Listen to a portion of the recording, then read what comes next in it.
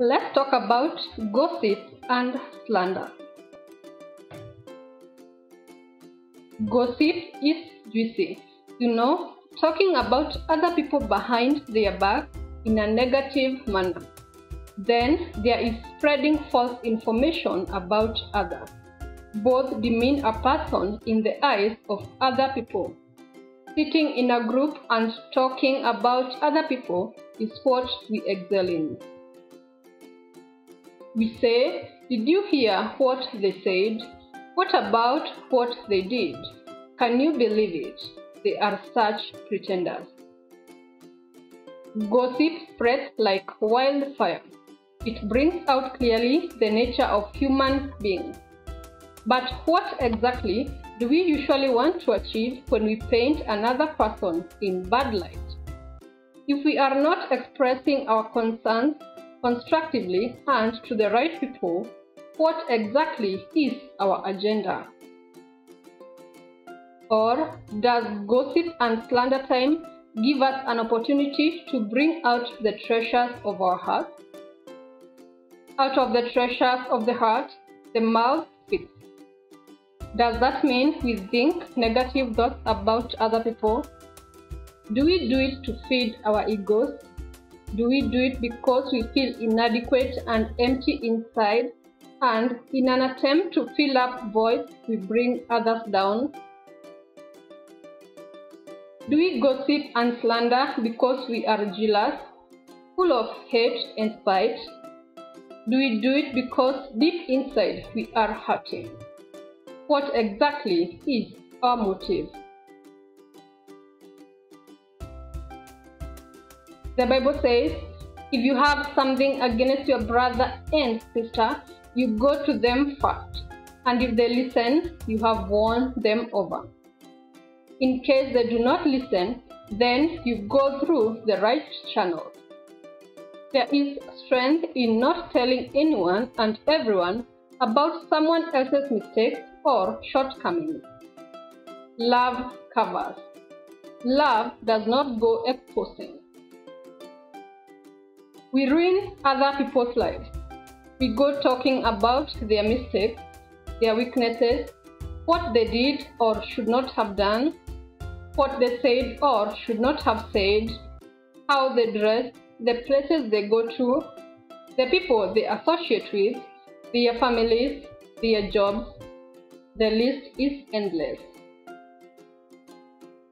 But the surprising thing is, the person being talked about will most likely be the last to hear. Everyone else will have known by the time someone volunteers to inform the person concerned about what is being said. Then, when such a person walks down the street, they will be getting all sorts of weird stares from other people. Some will be whispering to one another, others will be laughing. Love has grown cold. People have become brutal with no or minimal humanity. We tear each other down, then laugh about it. We hear about that person who attempted or committed suicide because of other, other people's actions, but we still go on. After all, it does not affect us or those close to us. That is what we say to ourselves. We gain pleasure in seeing others go down.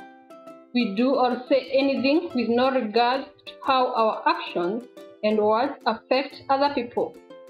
As long as we consider ourselves to be on the safe side of the fence, we have no other care in the world.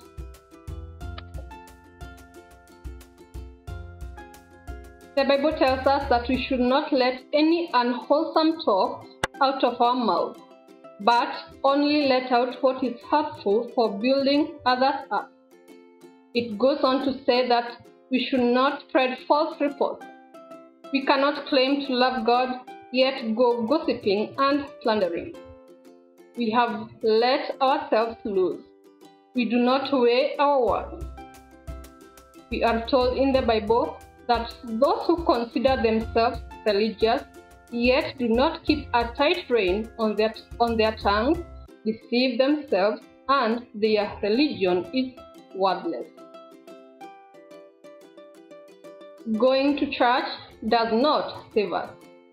We may go to church all our, all our lives and yet end up in hell. We are told that whoever conceals hatred with lying lips and spreads slander is a fool. We should never do anything that endangers another person's life in any way. With their mouths, the godless endanger their neighbor. Gossip betrays confidence. It stirs up conflict. It separates friends. The prudent hold their tongue. Words of a gossip go to the inmost part. The tongue has power of life and death, and those who love it will eat its fruit. We should ask God to help us set a guard over our mouth. Gossip and slander, like any other sin, destroy. Nothing good ever comes out of sin. If we have to outdo each other, let it be in doing good. Be blessed.